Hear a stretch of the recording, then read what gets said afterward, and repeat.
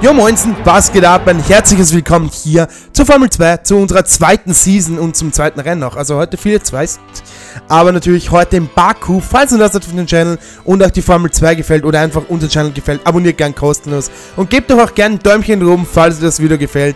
Heute sind wir in Baku, 6 Kilometer, 21 Kurven, eine Highspeed-Strecke, aber mit Länge. Also es ist Singapur, Monaco und so ein bisschen ja, Monster gemischt, weil es gibt ja doch so ein paar Highspeed-Elemente, auch so ein paar schnellere Kurven, die, die letzten paar Kurven sind extrem schwierig. Und wir starten natürlich wieder von ganz hinten, Nicolas Latifi und Matsushita starten von vorne, Sete Kamara und Su, dann haben wir Nick de Vries und Giotto, Uber und Aitiken, auf 9 dann Korea und Bogolazzi, Ilot und Alesi, Delareis und Mazepin, Caledron, das ist eine Frau, by the way, Boschung und Galei, King und wir sind ganz hinten. Unser Teamkollege startet nur einen zwei Plätze vor uns. Also das ist wirklich heute schaffbar, dass wir den vielleicht sogar im Folge des Starts abgreifen können.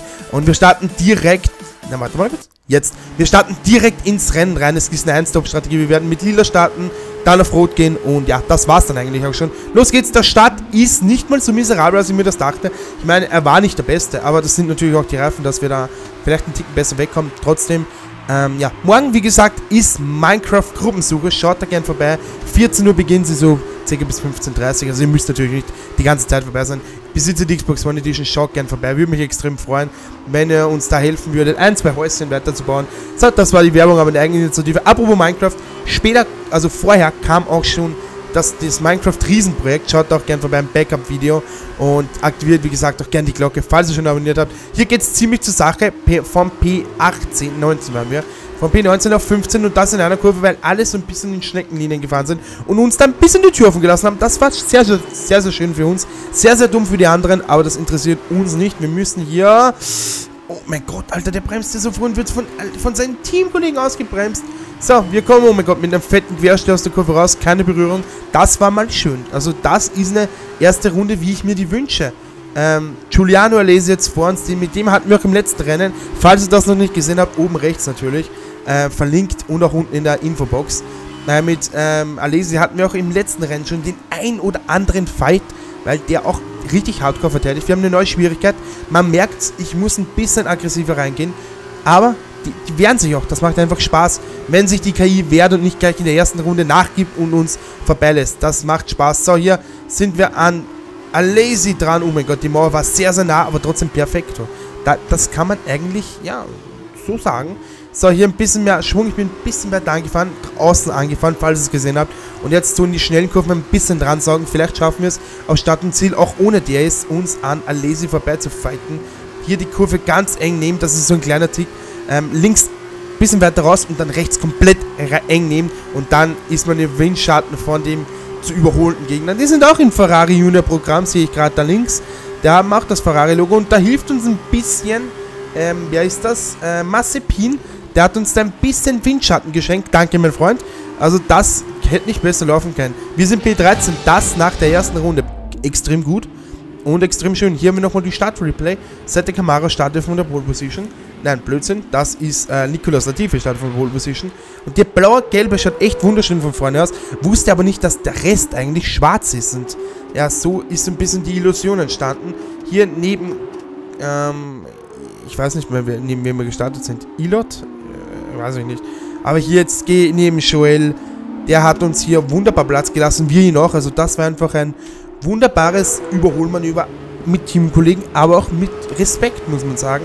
Hier haben wir nochmal den Start von unserem Teamkollegen Jean Joel, ein äh, Monegasse. Und wie gesagt, Caletron oder Caletron, keine Ahnung, wie man das ausspricht, ist eine Frau. Sie heißt nämlich Namika, glaube ich. Und das ist natürlich cool. Also ich wusste nicht, dass, ähm, ich kannte so wie Flörsch oder so, aber die ist ja nicht Formel, äh, Formel 2. Trotzdem, ich wusste, dass die, doch, die ist Formel 2 gefahren, oder? Doch, doch, die ist doch Formel 2 gefahren. Und das, die wusste ich, dass die, ähm, äh, ja, eine Frau ist, aber bei Khaled, sorry, ich meine, jetzt weiß ich auch, warum sie lange Haare hat. Also, da ist wirklich der Bray-Moment. Also, Halleluja. Dann entschuldige ich mich natürlich dafür. Und hier haben wir nochmal das Überholmanöver auf der Start- und Ziel geraden gegen Giuliano Alesi. Wunderbar ausgepaced aus der letzten Kurve. So, zweite Runde. Und hier, wenn sich zwei streiten, freut sich der dritte. Das denkt sich jetzt gerade Ilot, der hier vom Mazepin aggressivst überholt worden ist Und jetzt auch noch wunderbar eigentlich von uns, von Osten. Ich meine, wir, wir haben uns dran gehängt am Mazepin und ja, ja, ich finde es natürlich immer blöd, wenn man, wenn man einen überholt und ein dritter mischt sich ein und überholt den auch noch, weil er verliert dadurch zwei Plätze, obwohl er eigentlich nichts dafür kann. So, jetzt hier, engste Kurve, Mazepin und jetzt passiert's, wir drehen ihn das Heck weg und es gibt Geld. Das wollte ich natürlich nicht. Ich wollte ausweichen, aber es ging nicht. Ich habe auch gebremst, aber da war es schon leider im Gange. Wenn man nur einmal die Autos anstupst, ist es leider so weit, dass sich die einfach wegdrehen. Das ist natürlich echt ärgerlich für ihn. Und gerade noch gesagt, jetzt habe ich da komplette Rennen von ihm zusammengehauen. Das tut mir extrem leid. Das wollte ich natürlich nicht. Aber ich meine, so Fehler passieren leider selten, also Gott sei Dank selten, aber leider, wenn sie passieren, sind sie natürlich fatal für denjenigen, denen es passiert. Schauen wir nachher zum Schluss natürlich noch, wo Mazepin gelandet, sind, äh, gelandet ist natürlich. Und hier Bogolazzi, ich muss sogar vom Gas runter und jetzt, ja, das ist halt das, wenn man voll im Schwung drauf ist, dann einmal lupft, dass man ihn nicht hinten drauf fährt, dann muss man sich wieder dran robben, dran beißen und ja, dort, in meinem Fall hier hat es gut funktioniert, aber Manchmal funktioniert es nicht ganz. 80 kennt jetzt vor uns der Teamkollege von Bokolazzi ist. Äh, Bo Bokolazzi. Und 80 kennt hier in der schnellen Kurve, der holt hier weit aus, bleibt auch weit draußen. Ich wieder mit einem Querstehen. Wenn man so hart in die Kurve rein bremst, dann, dann ist das Auto richtig instabil. Und habt ihr das Video schon von unserer Formel 1 Karriere gesehen? Wir waren ein unfassbares Rennen, habe ich in Österreich mir geliefert. Und schaut da gerne vorbei, habe ich natürlich auch oben rechts verlinkt. Giotto hier wunderbar aus dem Windschatten raus, letzte Kurve. Man merkt aber schon, die Reifen sind hardcore ich denke mir so, warum eigentlich nicht? Ich, ich denke mir so, ja, die Box wird mir angezeigt, es wäre schon okay und deswegen biege ich in die Box ab und wir holen uns einen frischen Satz. Es ist äh, ja besser, ich hätte auf einen Safety Car oder so gewartet. Da hätte ich auch geglaubt, dass das eine Strafe ist. War es Gott sei Dank nicht. Also da irgendwo einen kaputten, äh, recht, also einen gelben rechten Flügel, keine Ahnung, wo der her ist. Also es, es hat nicht viele Rechtsfights gegeben, es waren viel über links. So, aber eine Runde später geht's aus der Box raus. Sette Kamara ist leider vor uns rausgekommen, aber äh, Su konnten wir einholen. Ich weiß zwar nicht, wo der war, also der war nicht mal in der Nähe. Also der wird wahrscheinlich vor Shioto 4 gewesen sein. Und Su konnten wir einholen, das ist richtig gut, sehr perfekto. Und ja, in Korea, Ende der Runde, der, ja, der hier noch immer noch mit den Lilanen herumknotscht, an den sind wir jetzt nun endgültig vorbei. Raganutan. Der ist natürlich auch noch nicht in der Box gewesen. Eigentlich sind jetzt so gut wie alle in der Box. Alle Führenden, die, komplett, die komplette Spitze, alles ist in der Box, was geht. Und jetzt bin ich mal gespannt, ob unser Undercut sich ausgezahlt hat. Wir fahren letzte Kurve. Vierter sind wir schon. Und das war's auch. Da vorne, ganz, ganz vorne links, sind alle vier in einer Schnecke rausgekommen. Gelbe Flagge. Wir haben sogar Glück nach der schnellsten Rennrunde. Hat Nick de Vries, war so geblendet und hat sein Auto abgestellt. Nein, natürlich nicht. Wir schauen uns natürlich, ich habe die alle zusammengeschnitten und die schauen wir uns dann nach und nach an. Die, die Replays alle. Und ja, das ist natürlich schade. Aber bringt uns das Podium. Äh, schaut gerne auf Twitter vorbei. Wie gesagt, da gibt es immer neue Infos, wenn ein neues Video kommt. Und auch auf Instagram schaut auch gerne vorbei. Und Giuliano Alesi ist auch draußen. Wie schade ist denn das? Ähm, vorhin noch von ihm geschwärmt und vom Fight vom letzten Rennen. Aber diesmal ist es ein bisschen, ja, schade. Ist da ja auch in der ersten Kurve. Nein, es ist die zweite Kurve. In der zweiten, Auslauf, in der zweiten Kurve in der Auslaufzone draußen. Das ist schade für ihn. Aber da kann man nichts machen. Schauen wir uns mal an, wie das alles zustande gekommen ist. Wir sind hier ja, mal unsere Überholmanöver. Das ist ein schönes Überholmanöver. Und hier haben wir diesen Unfall. Ja, das, das war sehr, sehr blöd. Ich habe ihn da einmal angestupst und da war es schon weg. Hier haben wir es nochmal. Ja, das. So, da, Und hier, ja, zack. Und da, da konnte nicht mehr. Also, ich habe ihm diesen einen Stups gegeben beim Rausbeschleunigen und da hat es ihn weggedreht. Das ist echt schade. Und das ist Nick de Vries Ausfall. Hier blinkt es noch grün. Und zack, da schon gelb. Wir sind genau das Auto dahinter. Wir wären nah dran gewesen, aber der hat uns natürlich da ein bisschen ja Gott sei Dank ein bisschen Zeit gespart und das könnte noch hilfreich sein auf die Pole Position, ah, auf den Win natürlich. Hier, ja, da war es auch aus für ähm, Giuliano Alesi, der hier, ja, irgendwie über den Körb drüber und dann war es auf einmal aus. Also vielleicht war der Körb zu hoch, ich kann es mir nicht erklären, keine Ahnung, warum das so war, aber, ja, schade natürlich, aber, ja, man weiß nie, was da dahinter war. Wäre cool, wenn das auch in Formel 1 2020 der Fall ist und hier beide Latifi und, ähm, und Sete Kamara sind hier nebeneinander. Wir sind ganz knapp. Ich schneide die Kurve so. Hat mich die noch nie gefahren, diese Kurve hier. Ich beiß, ich merke, hier heute, jetzt, jetzt ist drin. Wir können den Win holen. Letztes Mal war es extrem hart. Aber jetzt aus der schnellen Kurve raus. Und Sete Kamara Ausgerechnet sein Teamkollege könnte uns heute so ein bisschen den Hilfswindschatten geben. Das Yes gibt er uns ja selbst, aber Sette Kamara gibt uns den Windschatten, dass wir da ankommen. Schauen wir mal, wie wir vorbeikommen. Und wir könnten noch Sette Kamara, ja, schnellste Rennrunde und wir holen wirklich Sette Kamara, beide auf einer Geraden und jetzt verbremsen Gott sei Dank nicht der Flügel. Aber das, ja, er lenkt jetzt zwar zurück, ich will ja auch ein bisschen, aber ich weiß, in der Kurve, wenn ich vorne bin, bleibe ich vorne. Es gibt zwar keinen DS, aber die fighten jetzt schon miteinander, ich sehe es schon. Ähm, Sette Kamara Latifi hat Sette Kamara überholt und die zwei fighten jetzt. Letzte Runde, also besser gesagt die letzten paar Kurven. Es hat sich nicht so viel getan, außer dass Latifi auch von Hubert noch überholt wurde. Das wäre dann sein zweites Podium, glaube ich, von Antoine Hubert. Sette Kamara war ja letztens, ähm, ja, Dauergast. Wir waren das ein Teamkollege mit Latifi. Aber jetzt mit Mick Schumacher läuft hier alles perfekto. Karierte Flagge, Jacket Flag und wir gewinnen auch das erste Hauptrennen in der zweiten Season. Wunderbar, gut gelaufen von, von P20 auf P1. Mehr geht nicht, also das war perfekto. Also lasst für, na, gern mal für diese Leistung ein fettes Däumchen oben da. Und unser Teamchef, keine Ahnung wie du heißt, Mann, aber du hast ein gutes Auto hingestellt. Ich meine, es ist hier und da noch extrem langsam, muss man nicht sagen, aber in Spanien nächstes Mal wird schon schwieriger werden. Auch ist, ich meine, ich würde auch gerne mit der Formel 2 mal in Monaco fahren, das wäre auch sehr, sehr cool. Aber ich glaube, da müssten wir wahrscheinlich ähm, eine Meisterschaft starten, weil das wäre dann schon ein bisschen zu viel. Hier haben wir Su. Gegen den sind wir auch, ja, bisschen gefahren. Äh, ja, ich meine, er war in der Box, ich bin rausgekommen, er ist hinter mir rausgekommen. Da geht eigentlich nicht viel. Das war gut von ihm.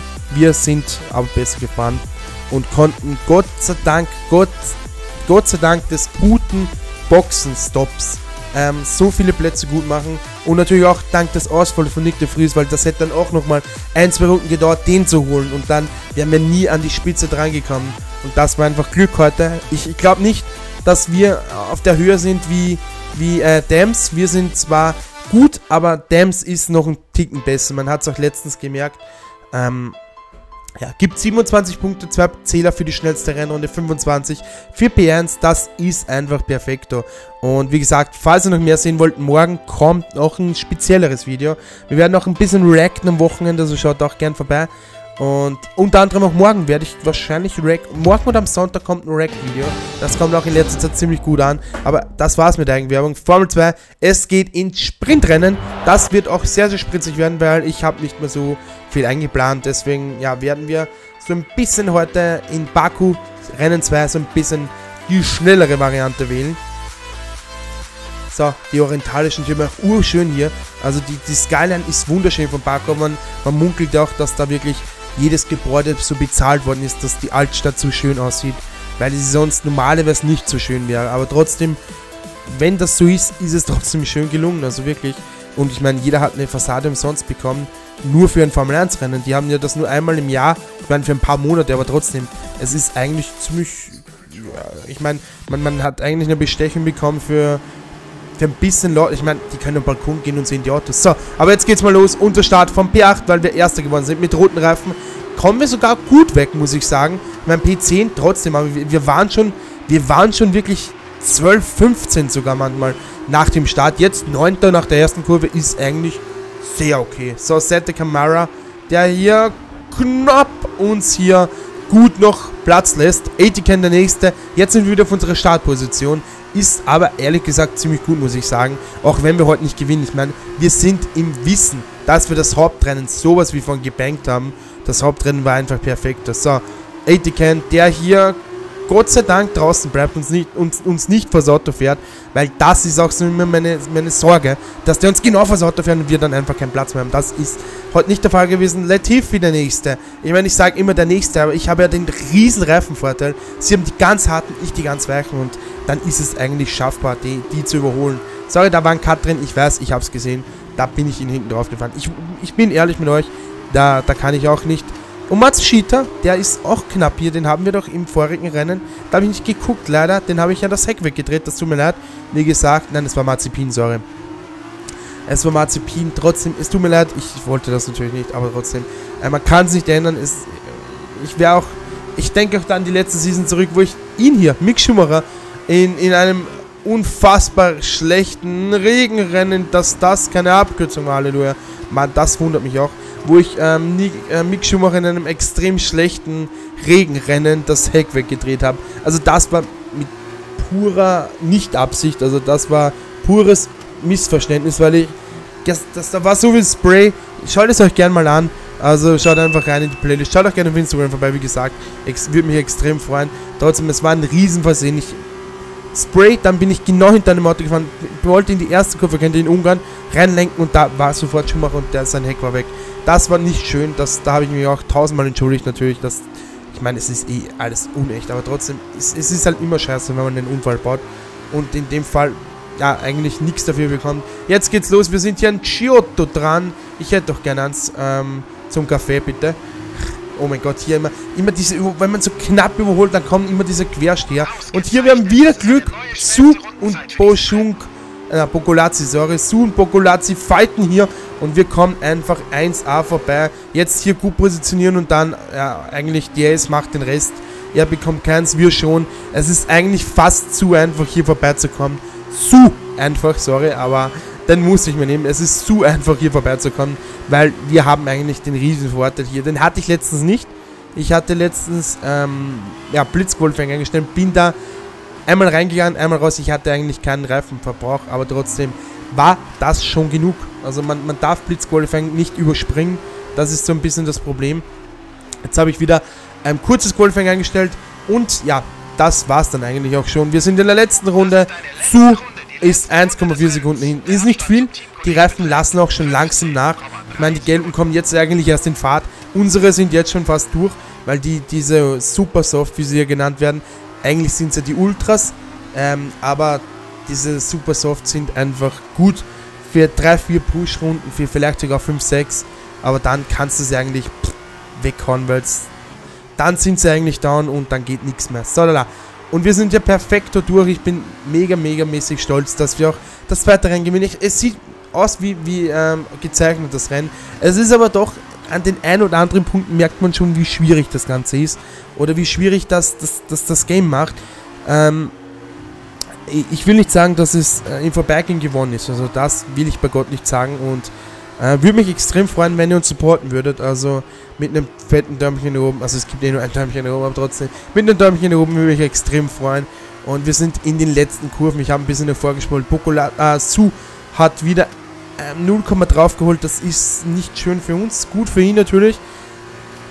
Aber ich denke mal, der wird jetzt nicht auf der Geraden ohne TS uns überholen. Deswegen können wir schon mal jetzt feiern auf der Geraden. Ich habe eigentlich, glaube ich, nur mit das, Gas, das Gas gedrückt am Controller, weil es schon vorbei ist. Zack, hier die Jagged Flag.